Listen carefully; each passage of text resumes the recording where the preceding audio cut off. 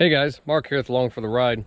Hey, I've had a lot of uh, requests on my uh, rain barrel build and how to do it. It's really simple. I mean, this thing is so simple to build, so I thought I'd do a quick video on how to build one of these.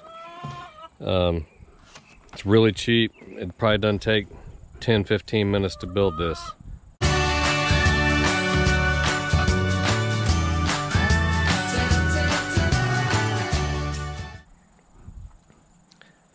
Like I said, we use this this one for our to water the chickens. All we did was all I did was add a gutter on top of the chicken coop here and it feeds right into the rain barrel and we don't have to worry about any water to the chickens all summer long. Now once winter hits we'll have to change this around but so anyway let's get started and I'll show you how to build one of these. All right guys before we get started here here's kind of a the things you're going to need, of course, you're going to need a, a plastic barrel here. Uh, you know, this, this barrel needs to be a food grade barrel. Wherever you get it from, you don't want anything that's had toxic chemicals or anything else in it. So make sure it's a food grade uh, barrel that's a food product. Um, a few things you're going to need here.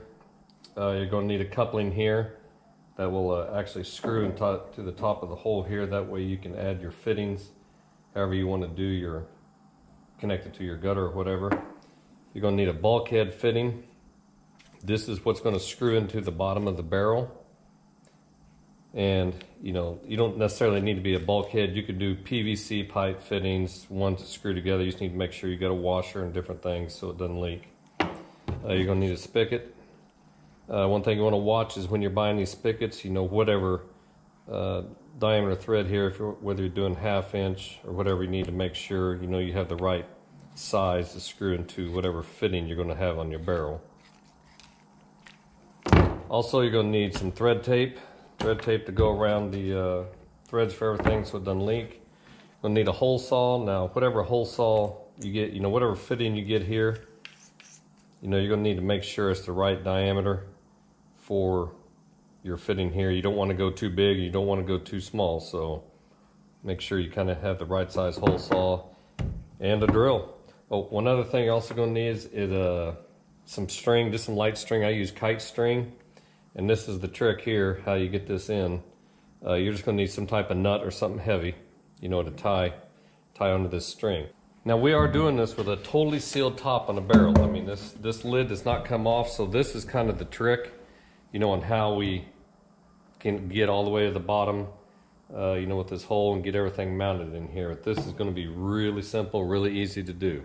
All right, before we start drilling holes in this barrel, uh, I do want you to know that your two holes up here, there's two different size threads that go in these barrels. One is going to be your pipe thread that you can screw your fitting into.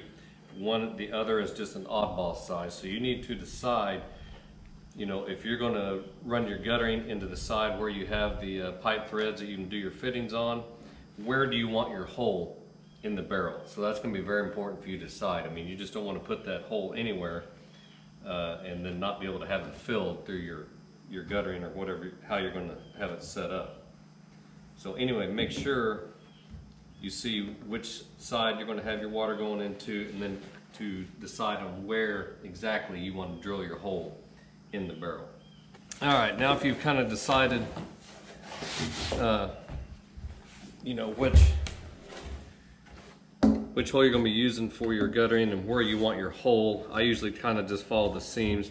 Most of these barrels, if you see the seam line running in between here, also runs down the side of the barrel. So I know my hole is going to be pretty much in line. It's going to be in line with the holes up here. So I know my gutter is going to be on this, right, uh, the threaded part over here for my guttering. So I want my hole over here. So as it's filling, I still have my spigot over here on the other side. All right, so now that I know where, which side I want my hole, I just got to come up so far. You know, here's, you don't want to go measure from the bottom because you're going to have a little bit of a ridge here. I usually try to come up about two inches or so, two to three inches maybe. That'll give a little room down here for uh, sediment or whatever gets in there to also settle to the bottom. Um, so then I'll just get started right there. and then we'll just put our hole in.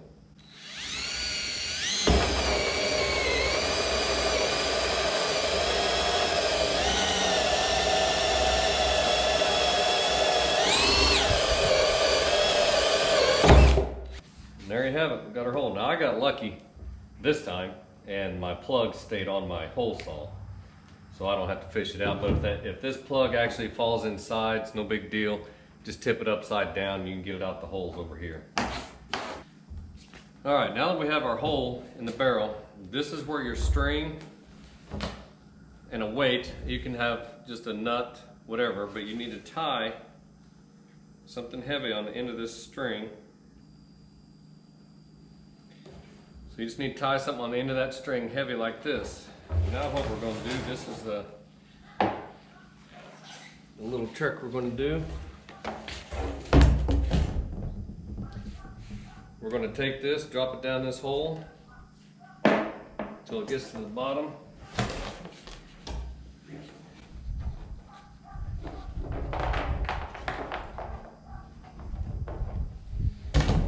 And pull it out. So now you've got your string running out through the top and the bottom. Now what we're going to do is we're going to take this bulkhead fitting and we're going to thread it through the string. Now you got to be watch which way is it going on the string so when it gets down there it comes out the right way in the hole. So I'm to take this. I've got my washer. I want the washer on the inside. You can also put some silicone around the outside if you want.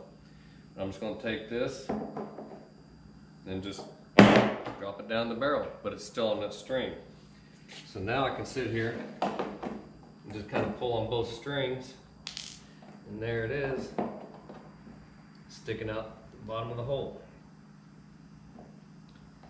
So once I've done that, I can either leave the string just push that nut on through there. Now I'll have to kind of hold the inside of this while I screw that on.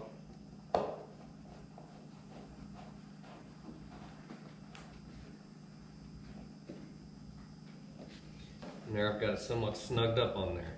Now what I'm gonna do is get a pair of pliers and go ahead and tighten that up more. All right, so I'm gonna do is I'm gonna take my big pliers here. I'm gonna hold that in there and tighten this up. Now you may be noticing on this fitting, I'm screwing the opposite way.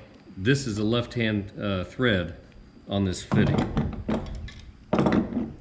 So I'm just gonna snug it up there nice and tight. Now that that's all in and tight, I can go ahead and pull this string all the way out. I don't need it anymore. Now what I'm going to do, we're going to take the uh, thread tape and uh, put tape all over the end of the threads on the spigot here and then we'll tighten that up on there. Take that off. Then we'll just screw our spigot.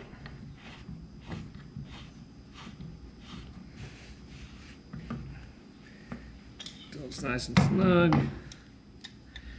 Then we'll tighten it up just a little bit more here. I'll stop right there. And there you have it. You got your spigot down the end of a barrel and this is all on a sealed barrel. All right, now we got to screw it screwed in there. You can buy all types of different size adapters, you know, to go up to the guttering, different sizes you want there. You know, you're gonna wanna plug off, screw the cap back in this other side here to seal it off. But yeah, this, uh, guys, this takes about 10 minutes to do and I probably don't have more than maybe $15 in this. Now the barrel may cost, it depends where you where you can find the barrels. Uh, they, these barrels may cost you anywhere from five to 20 bucks. It just depends on where you find them at. So anyway guys, I hope you enjoyed this video. I hope you see how easy these barrels are to make with the seal top on like this. If you have any questions or comments, just leave it below. We'll get to you as soon as we can. Don't forget to uh, like and subscribe to our channel for our next videos, any upcoming updates we're going to have. And until the next time, we'll see y'all later.